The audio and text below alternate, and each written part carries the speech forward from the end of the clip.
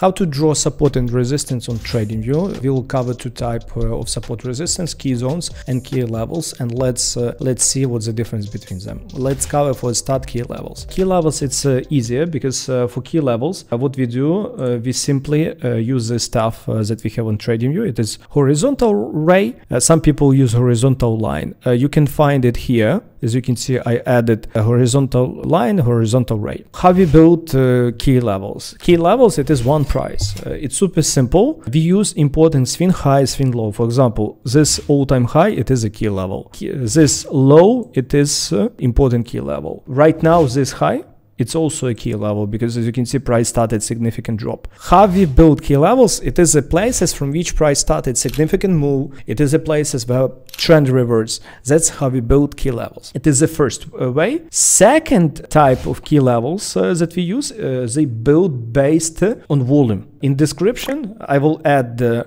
uh, instruction about that indicator, it is based on volume profile. Uh, on volume profile, we have uh, these areas uh, which cause uh, point of control. It is areas where biggest volume traded, and often such areas also become powerful support and resistance. Like at this moment on, on Ethereum, what would be key levels? Let's build together at this moment key levels. First key level, it is uh, this local low from which price did reversal. Another key level, it is here because price did this massive drop. Another key level, it is, as you can see this previous high because price did fake out uh, of this key level. Another before we had uh, this local key level as you can see price took this low from which they did significant rise uh, made the pullback. Also pay attention a significant volume why uh, I advise you to, to use also volume profile because you can see how here uh, this volume also become powerful support resistance. Remember when you build important key uh, levels always use bigger time frame 4 hour uh, 8 hour 12 hour. Minimum uh, i advise you to go to, into one hour time frame. In other cases don't use it. Uh, let's go to key zones because key zones uh, for me is the most interesting. Uh, i use uh, several type of key zones. Let me show to you. Before i advise you to join our club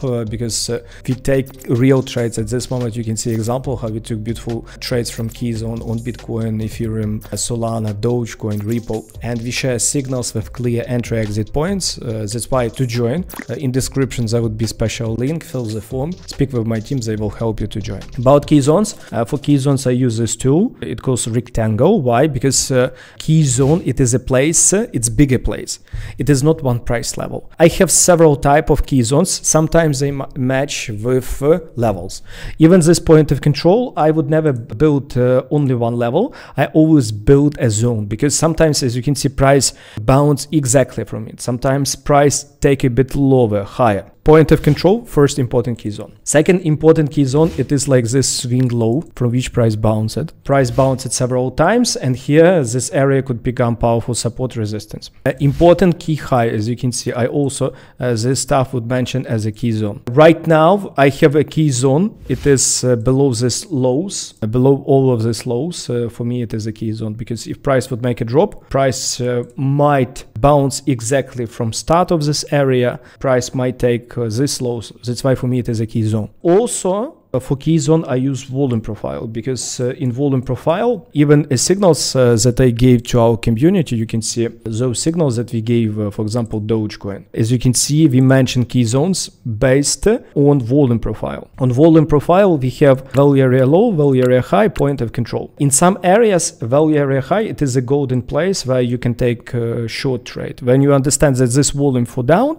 uh, you use as a above value area high as a key zone where you place a short trade. A tutorial about how to use volume profile I will add in description and in cards. Value area high uh, for example, an example uh, like this one on uh, Dogecoin, as you can see, we had this value and value area high was a, a key place to take uh, a short trade. At this moment, you can see this massive point of control become powerful uh, resistance and price bounced from this area where we gave a signal to our community. Here, example for you, other examples of a key zones. This low of this value, you can see price were inside of this range, low of this value was uh, important key zone and it played out as a a powerful support and we took beautiful long trade. The hardest part uh, when you build key zones by volume profile, uh, the hardest part here that you need to understand in what direction this volume. In some cases it's clear and obvious. That's a reason when it's clear and obvious I give a signal to our community. In the cases when you don't know, better to uh, skip it. That's why even this example, when we uh, when I gave long trade, you can see that value area low, it was a golden place, it was a support. It was a golden support for Ethereum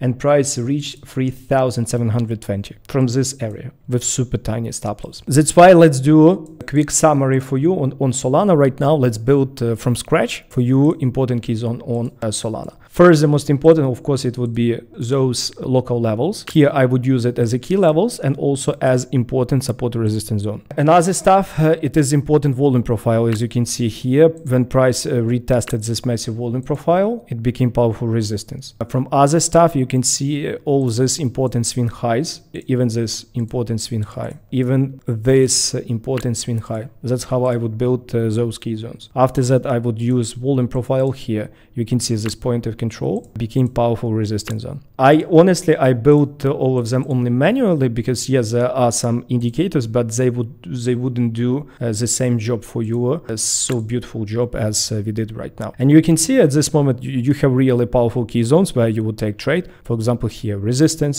resistance, like this key level, for example, also was key zone. You can see price did first test and make significant bounce. Uh, remember that it will take time. Uh, you need to practice at this moment. Try to build uh, those key zones on on some instruments. And remember that you need to use it properly with volume profile, and that's why here I prepared for you a full video lesson about volume profile. It's really powerful tool for you to understand how to use it. Have a good time and watch this video.